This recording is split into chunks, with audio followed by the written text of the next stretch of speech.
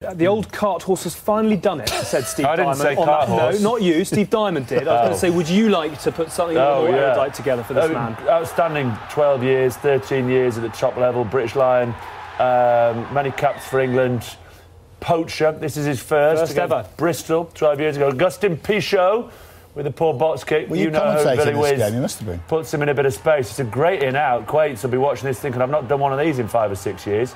Um, does nicely. And the poor old fella, he's waited for this record for about 14 years from his old mate Steve Hanley, and Tom Varndell will overtake him in a week. And, and will it, ha- it has to be said, one of Mark Cueto's most famous tries was one that relegated one Yeah, of did it? England's most Yeah. famous clubs. Did, yeah.